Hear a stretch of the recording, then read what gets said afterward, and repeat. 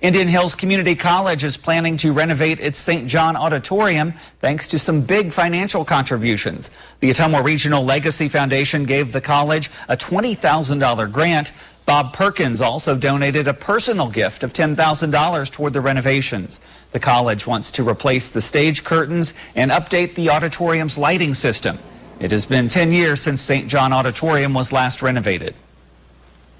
The purpose of the St. John Project is to raise some money so that we can move ourselves forward um, into technological innovation, but also to replace some things that need a little bit of upgrading. One of them are, are stage curtains, which are over 25 years old.